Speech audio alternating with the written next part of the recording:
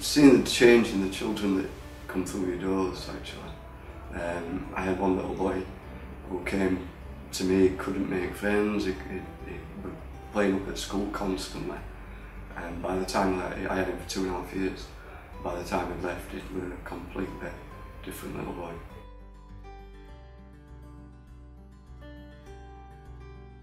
Uh, at the moment I've got two boys, one 12, one 11 on this Sunday coming.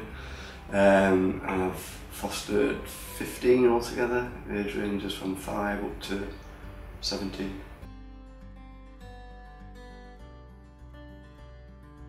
Hopefully it's changed the whole life around for coming from the backgrounds that they come from to seeing what a family life should be like and being loved and cared for.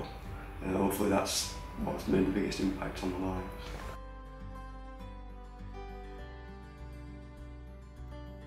Really proud of me to be fair. Yeah. Uh, sometimes you feel a bit embarrassed because, oh that's fantastic, you should, wish I could do that and I'm like, just do it, you should do it, and do it if you, if you think you can.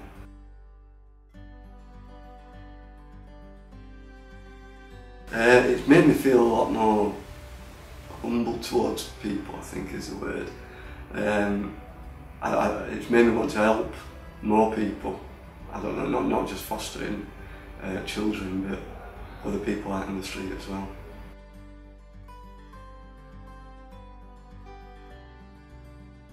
Just do it. It's the best thing you'll ever do in your life.